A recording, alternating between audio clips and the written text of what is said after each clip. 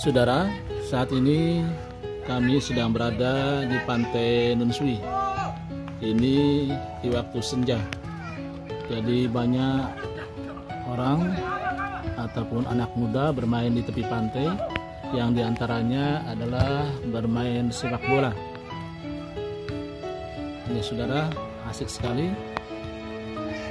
Pasirnya pasir putih.